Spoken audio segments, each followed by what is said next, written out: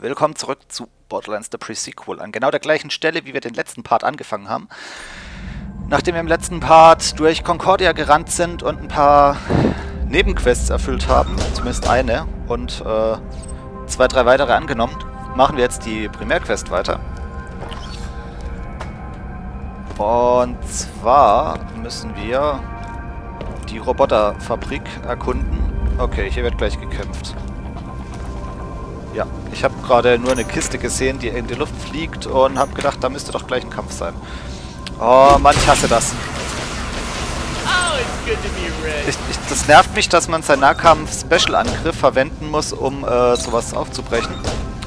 Und im nächsten Moment, wenn man dann bräuchte, hat man nicht verfügbar, weil es einfach länger dauert, bis der aufgeladen ist. Das ist eigentlich schade. So, okay, 12 Stacks Money ist Power. Ist mal ein Anfang. Meine Maus rutscht gerade ein bisschen stark. Jetzt machen wir mal den langsamen Bewegen-Modus. Und bumm. Hallo? Also den zweiten verstehe ich, dass der verfehlt hat, aber der erste. Und äh, der Schaden, den die austeilen, der ist auch sehr stark. Ach, das sind ja auch noch welche von der Seite. Die, die von der Seite kamen, die habe ich ja erstmal gar nicht wahrgenommen. Okay, da unten sind jetzt weitere Gegner. Lunatics. Ah, ein Suicide Lunatic. Wenn der hochkommt, dann will ich meine SMG ready haben.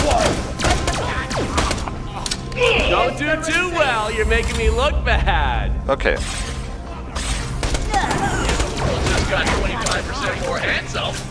Das ist gerade ein bisschen...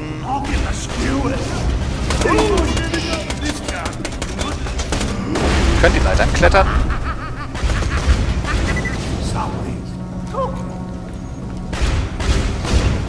Der Scav hier nervt mit seinen Feuerschüssen, aber er hat meine Feuerresistenz erhöht.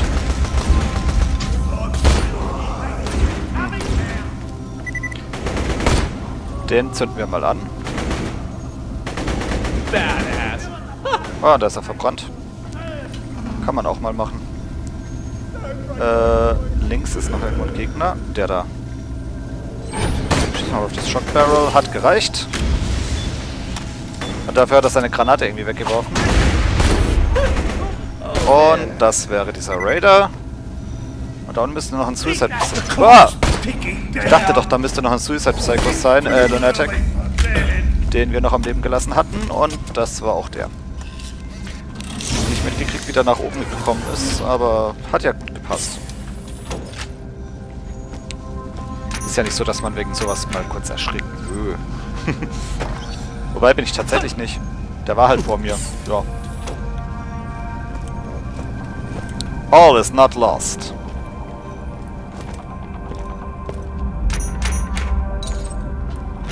Naja doch, für die Inhaber dieser Fabrik ursprünglich schon. Für die ist alles verloren, die sind nämlich weg. Die haben hier nichts mehr zu suchen, die... ist...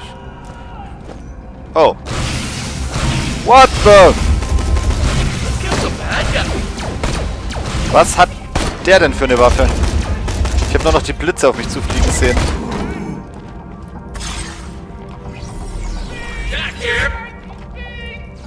So, ein bisschen mehr Schaden wieder. Und da haben wir ein... Oh, Badass.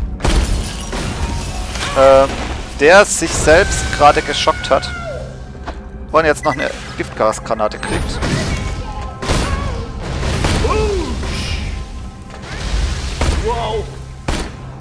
Und, ah, er ist noch nicht tot, er ist noch nicht tot. Hinter die Wand, hinter die Wand. Fuck. Okay, ich kann mein Nahkampfangriff-Ding verwenden, während ich... Nee, kann ich nicht. Okay, ich dachte, ich könnte. Ah, und er fliegt in die Luft. I don't know about this place. Kind of looks like a junkyard. Are you sure we can build something badass up in here? Of course, bruv. The scavs make it look way worse than it is. First thing we need to do is restore the main power. Head over to the breaker room and see what's what. Der war gerade sehr knapp, der Kampf. Muss man ja echt zugeben. Aber wir haben es noch überlebt. Diese Badass Outlaws sind übel. Finde die Gegner derzeit eher, eher, ein bisschen stark. Ich weiß nicht, ob es an meiner Waffe liegt, aber meine Schilde sind ja eigentlich aktuell. Ich habe mir gerade ein neues gekauft.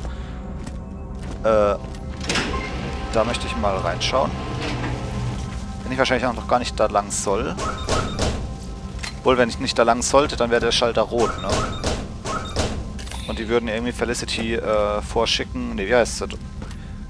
Äh, doch, Felicity, unseren, unseren Roboter, ehemaliger Skipper, äh, hätten wir dann irgendwo einsetzen sollen, um uns die Tür zu öffnen. Aber ich durfte einfach so rein. Oculus Lab. Okay, hier wird wahrscheinlich noch irgendwas kräftig abgehen. Aber erstmal gibt es noch einen Raketenwerfer, den wir nicht brauchen, weil unserer immer noch stärker ist, wenn er auch schlecht trifft. Hm, eine Hyperion-Pistole brauchen wir nicht. Munition können wir immer gebrauchen. Ich glaube, hier wird am Ende gebaut. Wenn wir mit allem durch sind, dann sind wir am Ende hier, um äh, die letzten Finishing Touches zu machen. Das könnte ganz gut passieren. So. Okay, äh, Granate, Granate, Granate. Noch mehr Muni. Da kommen wir nicht durch. Genau, von da werden wir dann wahrscheinlich ankommen. So, dann schauen wir doch mal in die andere Richtung, in die wir eigentlich gehen sollen, was wir dort finden. Ich, ich fühle mich gerade so ein bisschen erinnert an... Ähm,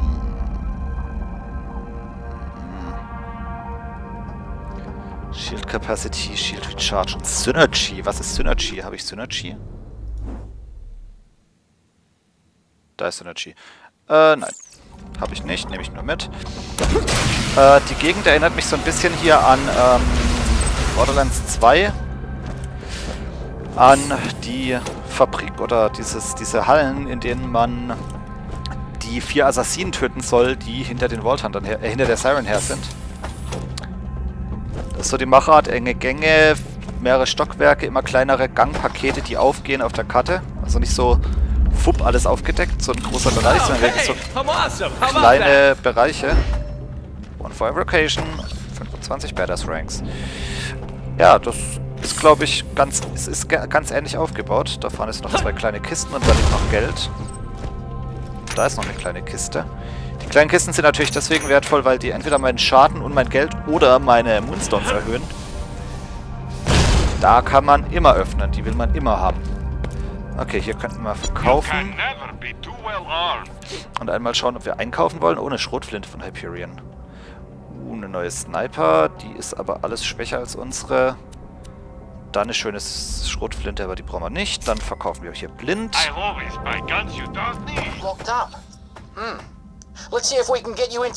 Okay.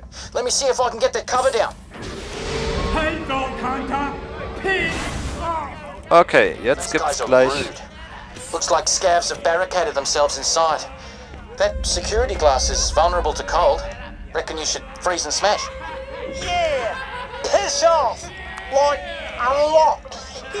Okay, äh, ich muss jetzt... Ich, wow, that's one impressive stream. Ich muss jetzt auf jeden Fall hier die, die Scheibe einfrieren. Und zum Glück stehen da Cryo-Fässer, weil ich habe keine Cryo-Waffe dabei. Bumm, natürlich sind beide auf einmal in die Luft geflogen. Ich habe mir das fast gedacht. Und jetzt können wir uns hier durch die Gegend ballern.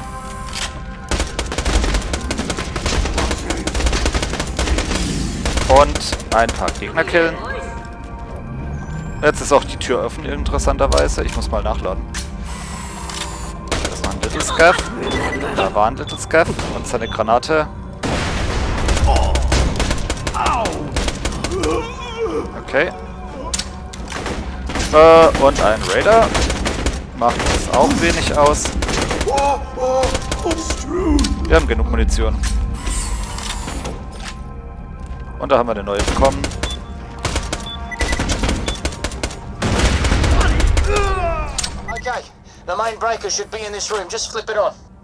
So, und jetzt sollen wir irgendwas... Ah, die, die, Schalt, äh, die Schalter.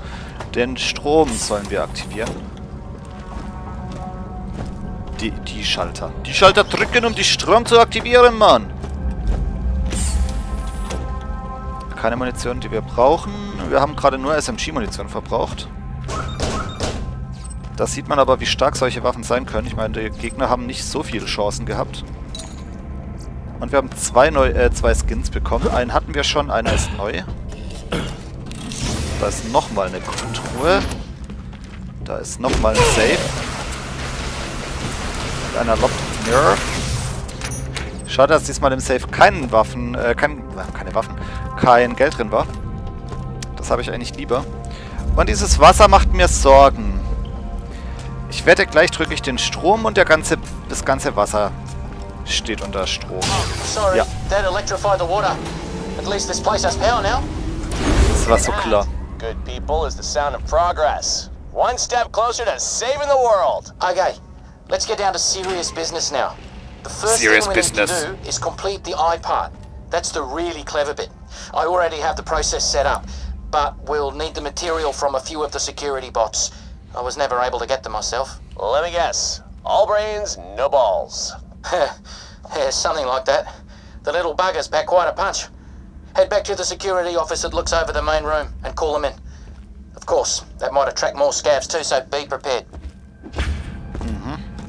Security System auslösen, Sicherheitsroboter anlocken und wahrscheinlich auch Scavs. Hm, Und dann um die Gegend, in die Gegend ballern. Kein Problem, machen wir.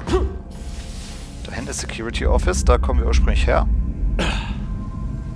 So, zack, sind wir drin. Und aktivieren. Und jetzt kann der Spaß beginnen. That's them. You'll need to destroy them in order to get their eyes.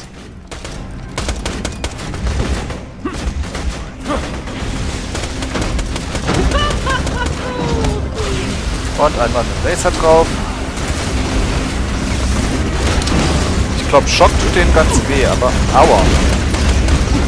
Ich krieg grad gut auf die Fresse. Ja.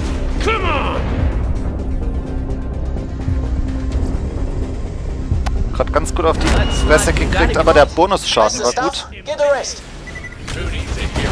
Äh, da ist nochmal ein Eisstück, da ist eine neue Granate.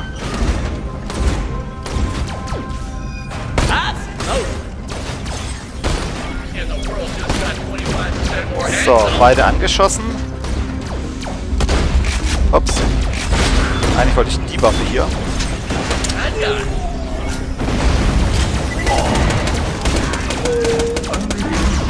das machen zu können.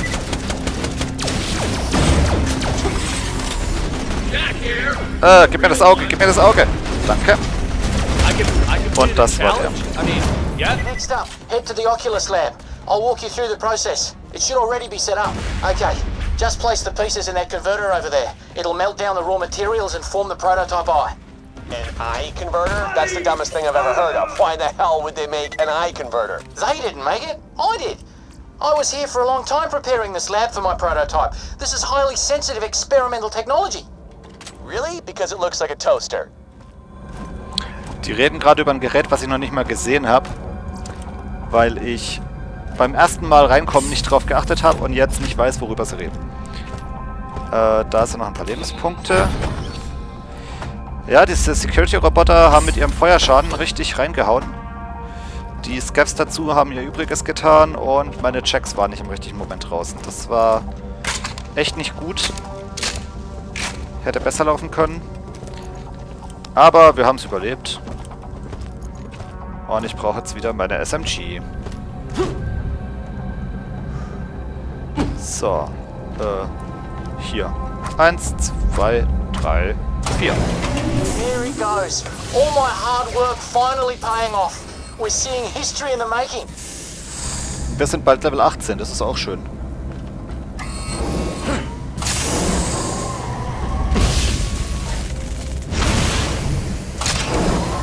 Ach, das wird unser Oh, Constructor-Auge, it's ja. so beautiful. Okay, now pick it up. Cool.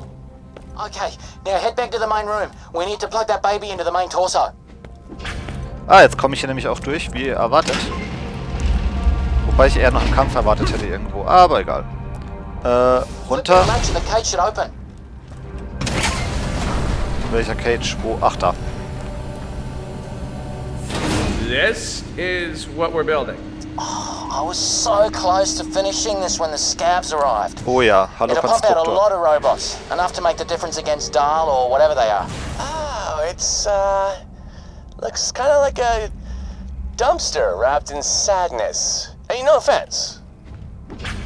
Äh, was mir gerade auffällt, alle, ähm, alle Constructor-Bots in Borderlands 2 oder alle mit Namen waren so ein bisschen strange von ihrer KI her. Wenn ich jetzt bedenke, dass Felicity die KI wird, wird mir ein bisschen was klarer. Weil die hört sich jetzt nicht so an, wie wenn sie gerne bauen würde oder Kriege führen. Die will eher steuern und kontrollieren. Das kann sie eigentlich nicht in der KI. Naja, mal gucken, was passiert. This constructor will be able to digistruct highly complex machines at an unsurpassed rate. Now that's done, we need to mount the torso onto the crane system. Äh, ach, da oben. Einmal hoch. Das ist gerade echt nett hier, dass man ein Gerätchen bro, zusammenbaut. this is really happening. It's working. My old professor said I'd never amount to anything, but she was wrong. And now look at me. Want me inside that thing? I've been wondering about this installation. You know, you could just copy me. It takes a little longer, but it's the same thing, and I'd find it much less terrifying. Exactly how much less terrifying? It's the difference between brain surgery and being scanned. Uh, let me think about it. Nee, tut er nicht. Er denkt nicht drüber nach. Also er denkt schon drüber nach, aber er denkt That's nur, good. That's good. Now we need to attach the turrets, then the legs. er denkt wahrscheinlich nur, okay, wie kann ich das am besten nutzen? Assembly Hangar. Da ist die Testing Facility. Da sollen jetzt echt in der Testing Facility noch Teile ranschrauben. Die ist doch zum Testen da, nicht zum Schrauben. Get your words straight. So, wo sind wir denn hier? Haben wir nochmal Scavs? Wahrscheinlich haben wir gleich nochmal Scavs. Wir kennen Borderlands. Da werden gleich Gegner auftauchen. Oh, eine blaue Waffe. Keine Scavs. Turrets just need to be calibrated. I can help prepare the targeting systems. Oh, that's okay, thanks. I've got a faster way to do that. Oh. Okay, ich selbst muss nichts machen, sondern die Turrets sollen die Scavs töten.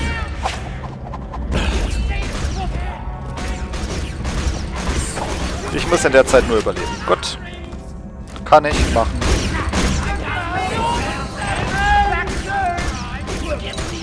Und ich kassiere währenddessen Drops und gebe selber noch einen Schuss ab. 50% accuracy. Getting there. I swear, bro. Badass Lil Lunatic. Okay, da muss ich ein bisschen aufpassen, was ich tue. Dem möchte ich ein bisschen selber reinbretzeln.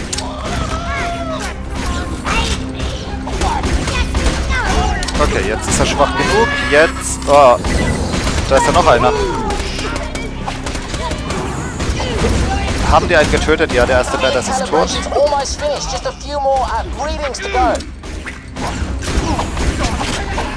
Einmal mit durch. Alles einsammeln, was hier liegt. Und nochmal ein Badass Lun- Lunatic. Ich bin mir gerade nicht sicher, ob ich nicht mal kämpfen möchte. So zum Beispiel gegen diesen Badass hier. Just soften them up a little. Then let the turrets work their magic. Ja. Oh, Lebenspunkte, danke. So, sind die wieder geschwächt? Also die Taktik mit Schwächen und dann angreifen lassen ist die richtige, aber die Türme tun noch nicht unbedingt das, was es soll, nämlich tun. Job done. I'll get these to the main area. Okay. Wenn ich einfach schießen darf, bin ich doch viel glücklicher. Dann kann ich nämlich einfach die Gegner töten, bevor sie mich töten. So. Gut, die Türme sind kalibriert. Da da vorne liegt noch einiges Zeugs. Und da sind noch zwei Kisten zum Öffnen. Ah, SMG-Munition, sehr schön. Ja, da darf man auch mal äh, sich halb opfern, um äh, Jacks Plan zu genügen. Ich meine, wir sind ja schließlich sein Doppelgänger. Wir sind ja dafür da, uns für Jack zu opfern. So, wir setzen noch die Tür mit dran und dann würde ich sagen, beende ich den Part.